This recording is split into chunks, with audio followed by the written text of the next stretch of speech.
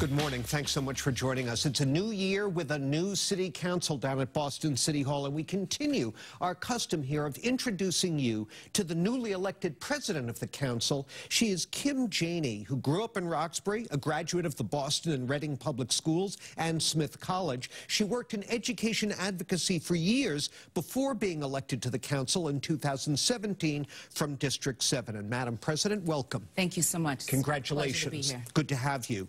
So what did you think of Mayor Walsh's State of the City speech the other night?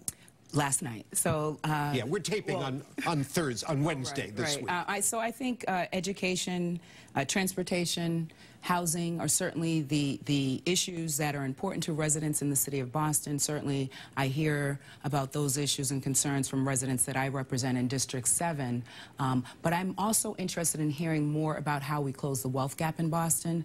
I really am interested in hearing about an economic strategy that really lifts uh, people who have been left behind in terms of economic prosperity in Boston. So I'm interested in my term as council president working with my colleagues on the council as well as the mayor to um, lift people who have been left out of economic prosperity in Boston. And I would have liked to hear, have heard more of that can you be more specific? Give me one specific example of what you would have liked to well, hear yes, address. I think um, we know we have an enormous wealth gap here yeah. uh, in the city of Boston.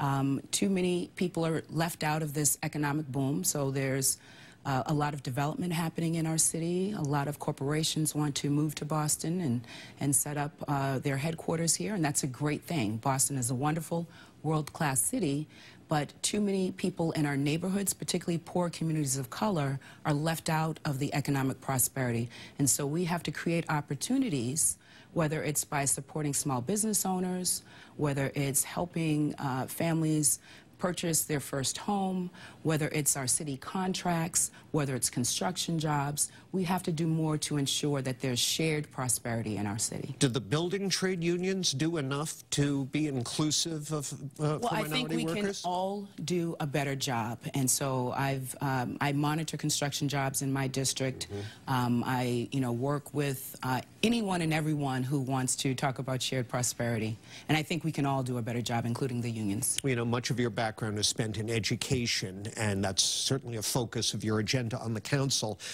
With the mayor's speech the other night, both the city and the state have now announced major new spending on city schools. What else do you think they should be doing? Is it, or is it just a matter of more money? No, I think we have to be very intentional uh, and really target who we're talking about and when we talk about um, education. So there are huge opportunity and achievement gaps. We can say uh, we can just invest more money and the rising tide will lift all boats. I happen to believe that a rising tide uh, can be dangerous if you don't have a boat. So if you have a yacht, great, that rising tide is wonderful for you. But if you're on a life raft, that rising tide could take you under. And so we've got to do more to be really intentional about targeting the students in most need. And that's our English language learners, students with disabilities, um, black and brown children who uh, may not have the same out-of-school experiences that some of their peers have. We've got to do more to ensure that they have every opportunity to be successful. Well, on paper, that's the focus of the state spending initiative, specifically targeted to ESL and, and, and poorer communities. Are you satisfied with that? Yeah, or? I mean, so that money will come into the district, which is wonderful. Right. But even within the Boston School District, there are schools that have um, more resources uh, because maybe they have parents who know how to fundraise.